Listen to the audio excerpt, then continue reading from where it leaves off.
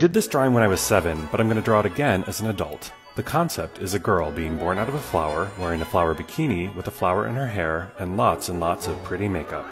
I thought including the hair bow would be overkill, but I actually kind of love it. Now, let's make her sparkle and finish up with some pretty eyeshadow. Here is the original, and here is my grown-up recreation.